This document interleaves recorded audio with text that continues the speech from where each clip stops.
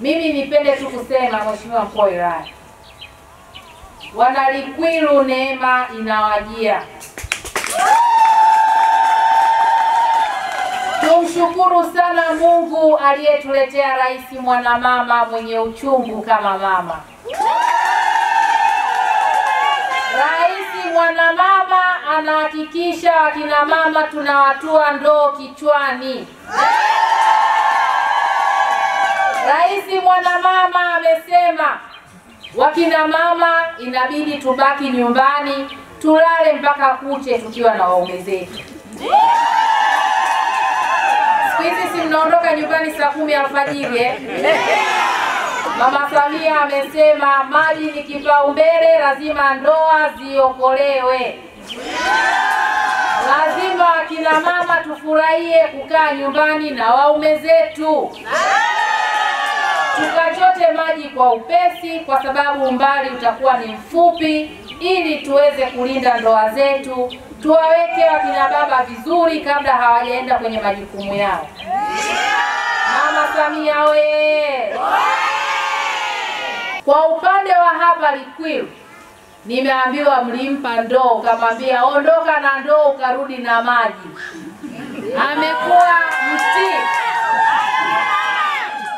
ile ndoo akanambia, naibu waziri wa maji, twende twende tukahakikishe tunakwenda kuwaelekeza Wanalikwilu maji yanakuja.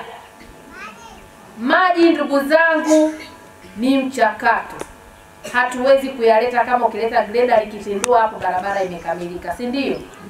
Lakini tunakwenda kufanya mchakato mfupi wenye tija tunakwenda kuhakikisha ndani ya muda mfupi sana tunakwenda kuwajengea tenki ambalo tutavuta maji kutoka ziwani yaje hapa Likwilu kwenye tenki letu, ili tuweze kusambaza kwenye vituo kwanza vya kuchotea maji, na baada ya hapo tutaendelea na utaratibu namna nzuri ya kila anayehitaji kuvuta maji majumbani kwetu.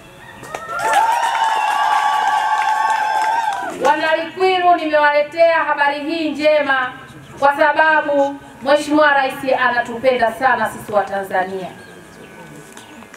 Kwa eneo la Lipilu, salamu za, za upendo kutoka kwa Mheshimiwa Rais Mama Samia ni kwamba wiki ijayo Katibu mkuu wa Wizara ya Maji atahakikisha analeta hapa Nyasa milioni mia tatu. Kwenye milioni mia tatu hiyo, milioni mia tatu tuko hapa na wataalamu watajenga tenki, tutaangalia la ukubwa mzuri ambao utatufanya wote tupate maji tuweze kujenga visima, vituo vya kuchotea maji, na fedha itakayobaki tutaendelea kuwasogezea na wengine ambao pia wana tatizo kama la kwetu.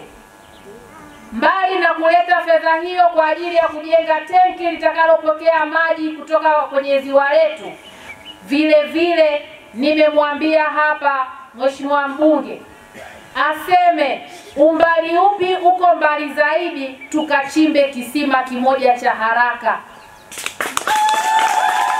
Hayo yatakuwa yakifanyika kwamba ni masuluhisho ya muda mfupi, masuluhisho yanayoleta matokeo ya haraka. Lakini tunakumbuka wote, Mheshimiwa Waziri Mkuu alipita hapa mwezi Januari na aliahidi wizara, aliahidi kabisa kwamba hii wilaya ya Nyasa tatizo la maji litakuja kuondolewa na mradi mkubwa wa maji kutoka ziwa letu Nyasa, si ndio? Ule mradi bado tunaendelea na taratibu mbalimbali za kitaalamu ili ule mradi mara tutakapopata fedha na wenyewe uje utekelezwe. Kwa hiyo hizi milioni mia tatu ni ile miradi ya kuleta matokeo ya haraka, lakini vile vile kisima tutakwenda kukichimba eneo ambalo pia tunaona mtandao wa mabomba au kupeleka kituo cha kuchotea maji kutoka kwenye hili tenki itakuwa mbali. Kwa hiyo kule tunasogezea kisima na wao tutawekea vituo vyao kadhaa kwa ajili ya kuchota maji. Hapo vipi? Lengo ni kupata thamani ya miradi yetu. Kama tunaleta mia tatu, tuione mia tatu kwenye utekelezaji, sio tunaleta mia tatu lengo likuru lipate maji, alafu unaenda kuleta janja janja, tutakula kichwa. Kwa hiyo wanalikiru, naomba muwe na amani. Hizi fedha zitakuja, wataalamu wetu wameshaelekezwa, watakuwa wanafuatilia vizuri, na nyinyi mtashirikishwa. Mradi unapofanyika kwenye eneo lenu, vijana wenzangu, jitokezeni kuchimba mtaro tupaka aje msomi, kubeba bomba kushusha kwenye gari mpaka aje msomi ni vijana wetu washiriki kwenye hizo kazi na wao wapate posho hela ya sabuni.